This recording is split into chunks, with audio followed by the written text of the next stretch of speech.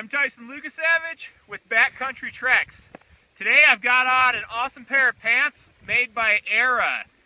These are called the Scaffold Pant with Suspenders. Now, Eira's out of Canada. We've gotten quite a few things from them and really enjoyed them so far. Really a great company.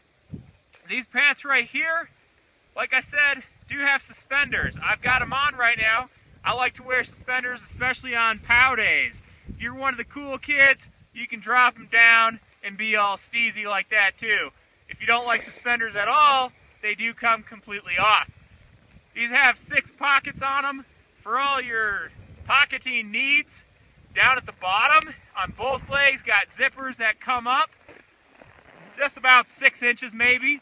And then I've also got two zippers on the inner parts of my thighs for venting. If you're out hiking, get hot, really nice to just flip those guys right open. Now these things are not coming off.